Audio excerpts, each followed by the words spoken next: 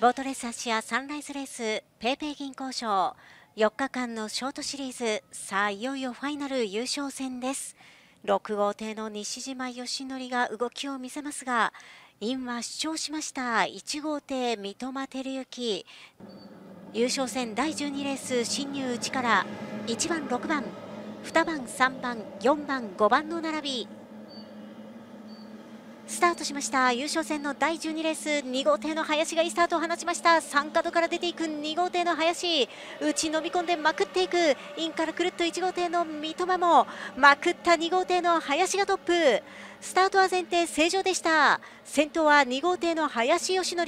その後ろ2番手は他5艇固まって2枠の攻防戦。トップで2号艇の林義則。折り返した後。2番手5号艇の三宅が丸外行く4号艇のオーバー。そして6番3番1番とホーム側。2番手リードは4号艇の大番元明です。